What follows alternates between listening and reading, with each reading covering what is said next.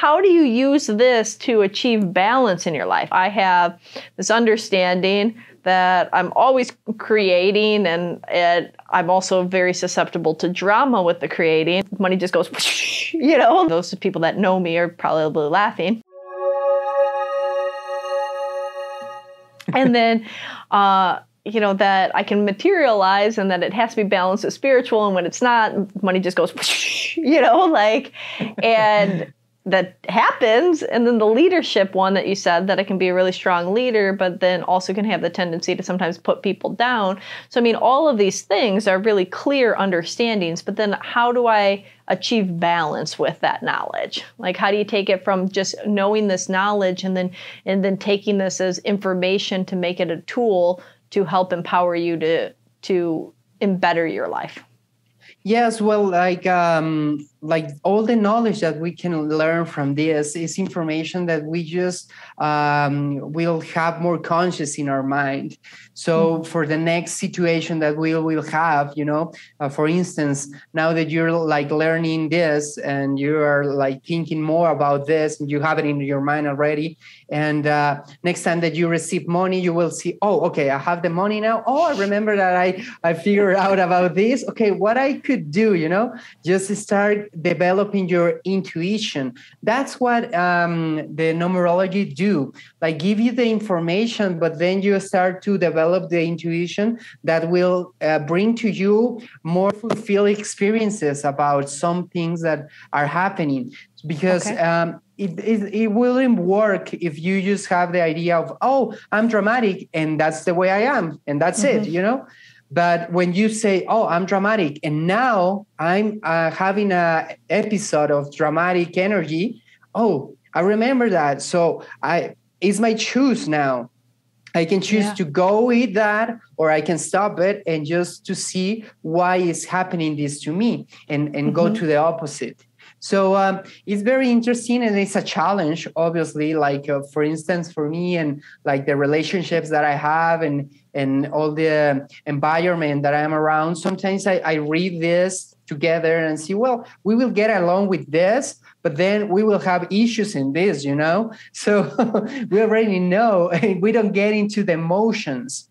So balancing your life is always like a, a, a challenge, and uh, like I always say, we can't like balance everything. You enjoying this so far? Did you forget to subscribe? Make sure to do so. It takes two seconds. Just press that little button, the red one. You know the one. Just press it, little like. All right, enjoy the rest of this content. Because mm-hmm. trying to balance everything will be getting control.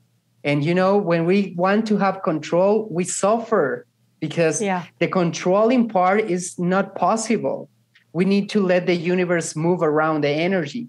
So, balancing the energy or balancing yourself and your life will mean just to flow more conscious with the situations and be like very intelligent to know what to do, how to act, and how to relate with the universe.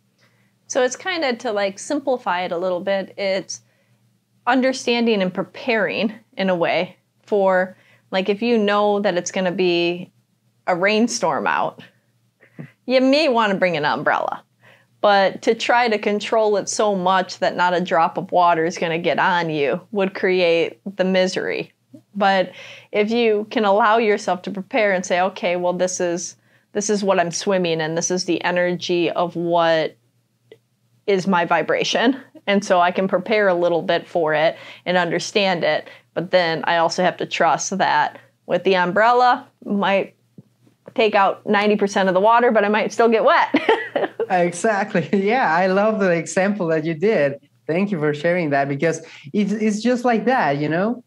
And, and it's very uh, interesting that we can have the opportunity to learn about ourselves and also why we attract people around us with some energy that it's always pushing us to to change to mm. improve to be better in our life and sometimes they are not the best situations obviously but even so they are at the end looking for you to evolve so um, I think that's the most important of this uh, knowledge of numerology. Otherwise, you just want always to control things. That's why uh, we learn things. You know, we learn to to develop uh, an idea, and then we learn to play a instrument, and we just want to have control of things.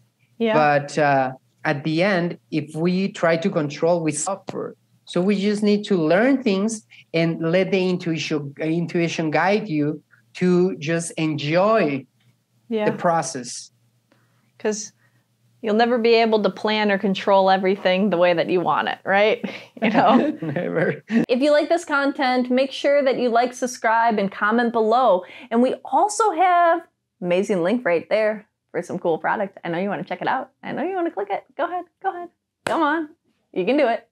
All right. Until next time, have a beautiful, blessed day.